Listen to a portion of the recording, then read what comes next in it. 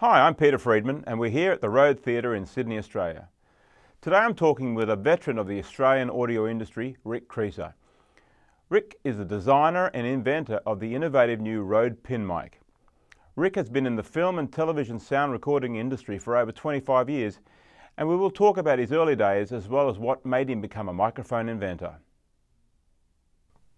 So, Ric, welcome to Rode HQ. Thank you, Peter. Nice to be here. Great. So, how did you start in the audio industry? Well, I started about uh, 25 years ago. I started working for a company called Spectrum Films. Now, they were the big, you know, film house in Sydney that did all the early Australian films. And Peter Weir was there, and Phil Noyce, and you know, they were doing films, films like The Picnic at Hanging Rock, and some really good Aussie films. And I was the little guy that ran around the back and did the sound and take, took the sound off the quarter-inch Nagra's location sound and transferred it to, to sprocketed magnetic tape that the editors used to come and cut in with the big Moviola's and the film stripes and all that business before computers took over. Mm-hmm. And that was great fun. And then I spoke to a sound recordist who said, look, if you want to learn sound, because I thought location sounds fantastic because you're on location, you get to travel and stuff, go and work for a television station.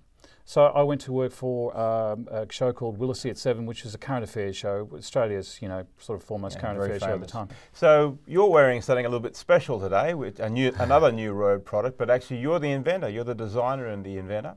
That's, That's true. The, yeah. the the Rode pin mic. So run me through why, what made you develop this? Why did you need this, and what's so special about it?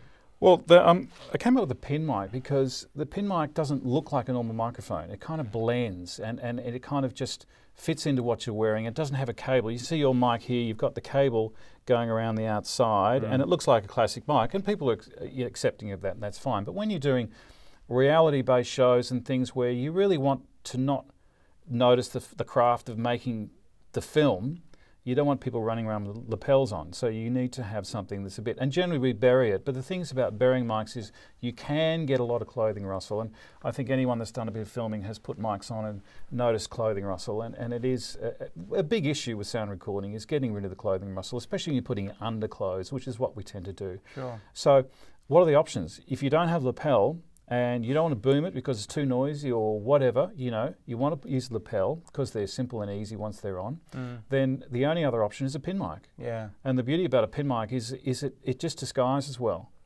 And um, what Rode's done, which is fantastic, is the cap comes off and you can spray paint the, the front of it. So if you work on set, say, and someone's wearing a blue top and you go, oh, hang on, I can just make a, a, pin mic look like a blue top. Mm, they look great on a tie, and because there's no cabling coming yeah, down. putting on a tie, that's a cool idea. Yeah. yeah. so it's a really great thing, and it reduces your your your rubbing noise on your clothes as well. Mm.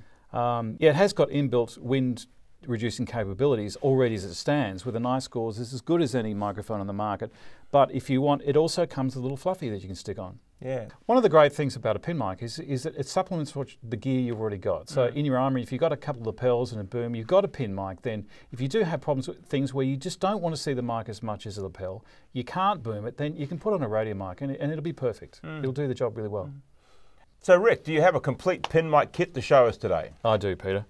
There's one here. It comes in a great little box, and there it is. So what you're getting here is you're getting the back plate, which has that the connector pins. Yeah? Connector pins. Right. So that goes through your fabric, and right. the great thing about it is once it's through your fabric, as you can see here, mm. it actually locks on. And one of the things is it never falls because the pins are actually gone through the fabric, and that holds the thing on. Yeah, right. So it's great. It just never falls off. And then we got uh, that outside cover that I talked about for high wind, wind. cover. Yeah, exactly. Yeah. You don't need it often, but it's great to have. Right. Um, Location. And there is the mic itself, just like the one I'm wearing, except in black. And there is a wonderful thing, a spare cover. So you could just colour that any colour you wish, which is great. And apparently you can buy all these spares and stuff anywhere, yeah, which is, is great. Going to be, you can have as many of those as you like. So I suppose you'd, uh, if you had a, as a sound recordist, you'd you'd paint up a whole lot anyway. You'd do a you blue, would. a green, oh, you'd have a, a white, whatever, and then you're going to get pretty close to oh. But I suppose in theatre, somebody who wanted to go nuts, they could do a bit of gold or whatever, oh. and bl blue and green to match a costume. You could do anything you yeah, like. Right. Exactly. You put a flag on it, doesn't you know anything? As long as you great. don't need to, as long as you don't block the holes. That's it. Block the holes. That's right. That's right. Exactly uh, right. When they so do get gummed up with makeup, you can always throw it away and buy another one. Exactly right. And there's just a, a, a clip to, to, to, secure it. So it's a great little kit. So um, beautiful design. It is a great design.